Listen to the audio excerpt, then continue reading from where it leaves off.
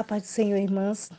Vamos, nesse momento, levarmos a Deus em oração. Vamos entregar nossa manhã, nosso dia nas mãos do Senhor, pedindo para que Deus ele venha estar conosco, nos abençoando, nos guardando e nos livrando.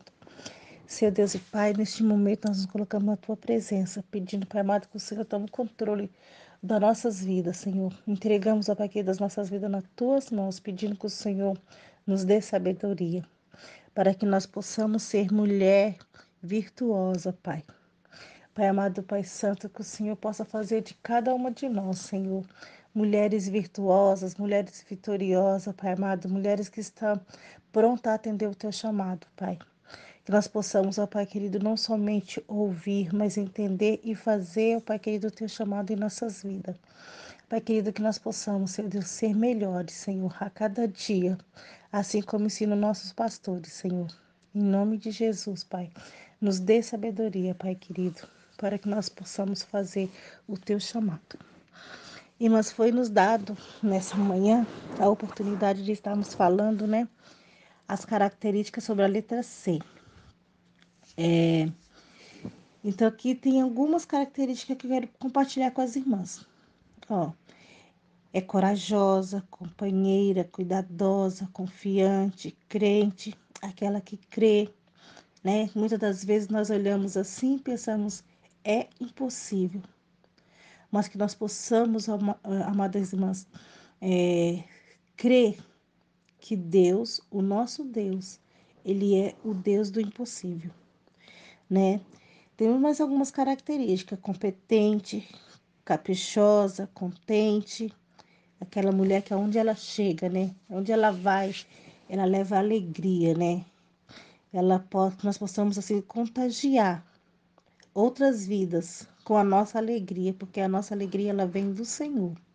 Compassiva, aquela que é carinhosa, compreensiva. E assim vai, irmãs. Tem muito mais característica com a letra C, né? e que Deus ele possa nos ajudar a cada dia nos melhorarmos, né? E que nós possamos a cada dia tomar posse de cada uma dessas características, né?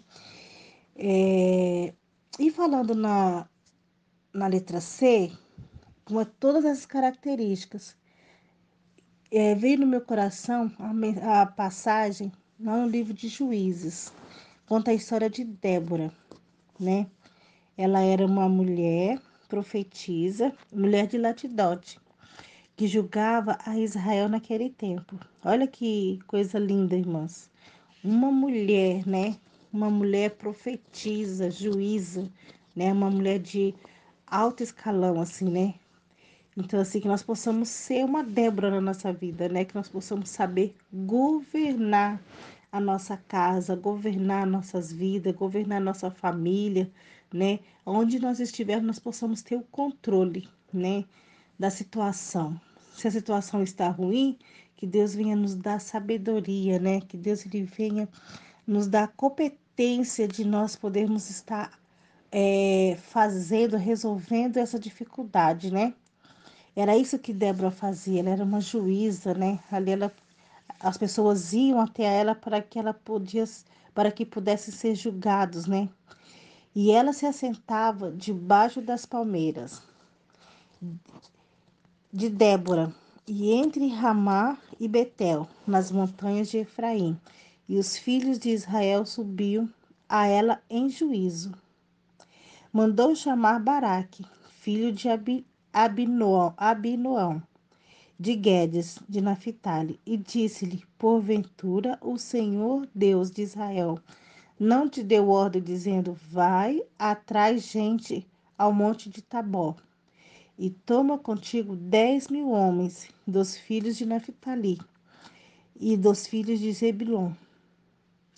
Aqui Débora estava indagando, fazendo uma pergunta, né, para Baraque, dizendo para ele que Deus já havia falado com ele, Deus já havia mandado ele a pegar, pegar as pessoas, pegar o quê?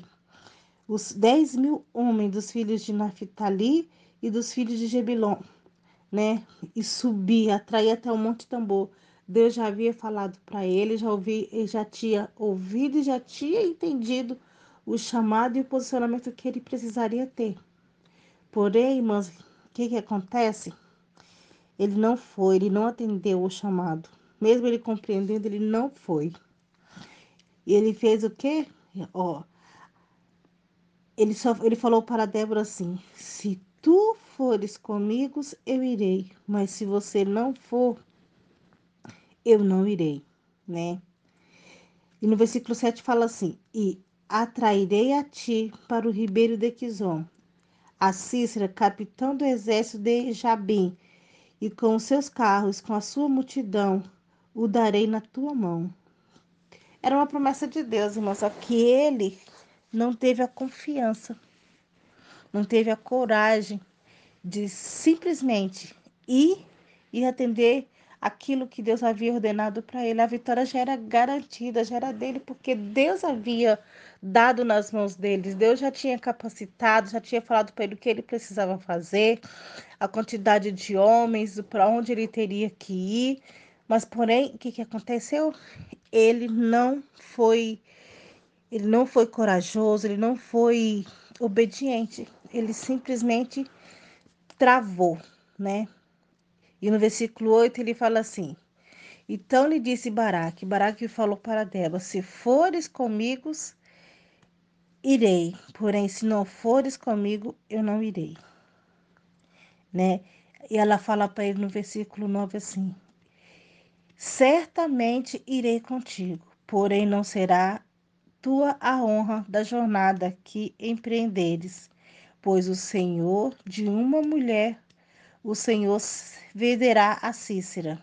E Débora se levantou e partiu com Baraque para Guedes. Olha que mulher corajosa, irmãs. Vamos tomar posse nessa manhã, que muitas das vezes nós temos medo, né? Nós temos medo, nós temos é, temor de fazer aquilo que Deus manda, mas que nós possamos olhar para Débora, né? Ela foi uma mulher corajosa.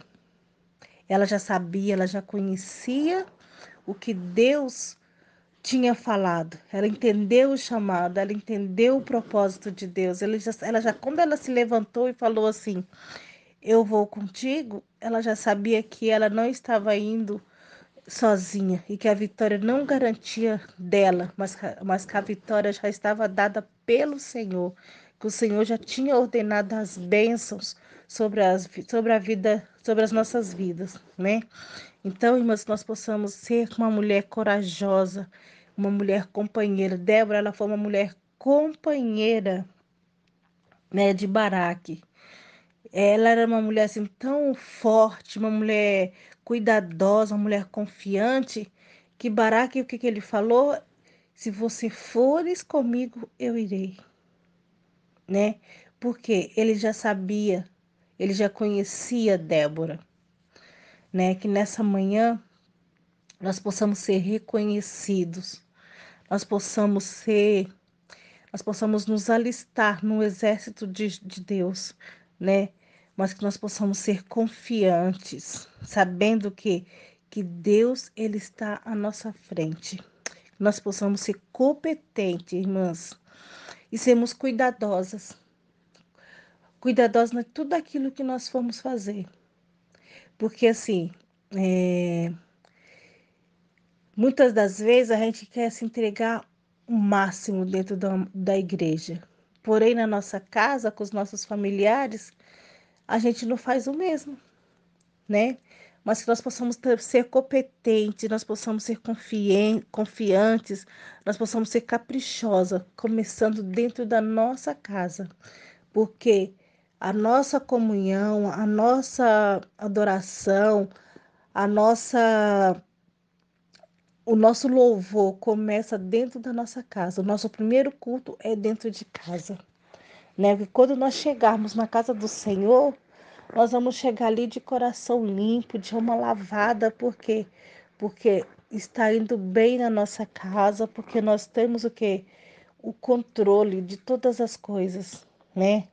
Nós sabemos o que? Que Deus, Ele é que nos, que nos dá a competência, né? Nos dá assim autoridade nos dá coragem para que nós possamos fazer tudo que nós precisamos dentro da nossa casa no dia a dia, né? Então, assim, irmã, se tem uma roupa para lavar, vamos lavar nossa roupa, vamos limpar nossa casa, vamos lavar a louça, vamos fazer aquilo que nos cabe fazer, né? E assim nós possamos, o que, irmãs? Quando nós pudermos voltar para a igreja, nós podemos ir de coração limpo, ter uma nossa vida, nossa casa organizada, nossa casa assim é, cuidada, né? Não só a nossa casa, mas também a, a vida dos nossos filhos, para quem tem marido, o marido, porque o que, que acontece? Às vezes você vai para a igreja e deixa a casa aquela bagunça ali, ó, não é cuidadosa, não é uma pessoa que saiba administrar o que, a sua família, né? A quem Deus já deu nas tuas mãos, já te capacitou. Olha aí, mais uma característica com ser capa, é, capacidade, né? Deus ele nos capacita, né? Se Deus ele deu, ele também nos capacita. Deus já te capacitou, né? Então assim, nós, nós temos que fazer o quê? Nós temos que simplesmente tomar o cuidado de fazer aquilo que nos cabe fazer. Às vezes você vai para a igreja e o marido fica bravo porque você não lava uma louça, não limpa uma casa, não, não deixa a roupa dele em ordem, não faz a comida dele. E aí você vai buscar uma benção, Deus te abençoe, e quando você chega em casa você perde tudo. Porque você vai encontrar um marido nervoso e vai falar que está sendo usado pelo diabo, mas não é não, irmãs. É nós que precisamos cuidar da nossa família, da nossa casa, sabendo que o nosso primeiro culto, ele começa na nossa casa.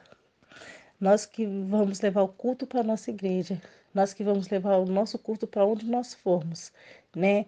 Então, assim, irmãs, Deus nessa manhã, Ele coloca no meu coração de falar nessa manhã que nós, nós somos corajosas, nós somos companheiras. Seja companheira do seu filho, seja companheira do seu marido, seja companheira da sua família, né? Tenha coragem, irmãs, de levantar, fazer aquilo que cabe você fazer, limpar sua casa, fazer o que você precisa fazer, né? E, irmãs, nessa manhã é assim, né, que Deus colocou isso no meu coração. Eu vou deixar um versículo para meditação das irmãs, que se encontra no livro de Josué, no capítulo 1 e no versículo 9, que diz assim: Não fui eu que lhe disse e ordenei ser forte e corajoso. Não se apavore e nem se desanime, pois o Senhor, o seu Deus, estará com você por onde você andar. Irmãs, Deus ele vai estar conosco aonde nós andarmos.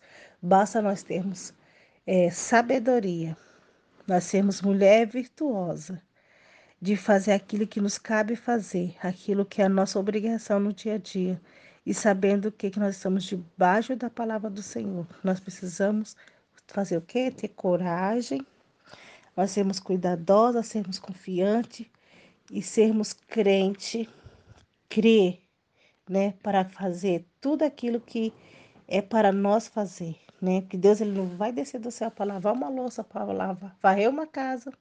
Por quê? Porque Deus ele já nos deu é, capacidade para fazer isso, né? Então, irmãs, nessa manhã fica com essa meditação.